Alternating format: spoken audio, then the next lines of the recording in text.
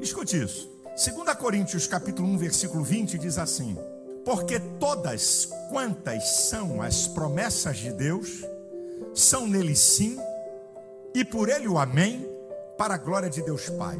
Não é uma linguagem de primeira mão você entender o que Paulo está falando. Porque todas quantas são as promessas de Deus, são nele sim, por ele o amém, para a glória de Deus Pai. O que, que Paulo está dizendo? Deus faz a promessa. A promessa só pode ser manifestada através de Cristo. Ele concorda em manifestar a promessa. Ela é manifestada em nós e com um único objetivo: para a glória de Deus. Essa aqui é a sequência. Então a promessa tem a ver com Cristo e com seu povo, não tem a ver com ímpio.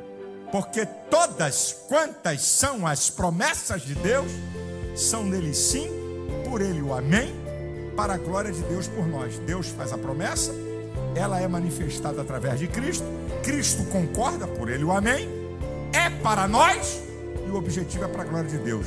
Abriu a porta de emprego? É? É promessa de Deus para a glória dele.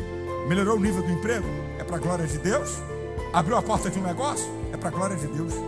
Comprou uma casa nova? É para a glória de Deus. Está vivendo uma outra dimensão? É para a glória de Deus, é para a glória de Deus, é para a glória de Deus, é para a glória de Deus. E se for para a tua glória, então não adianta.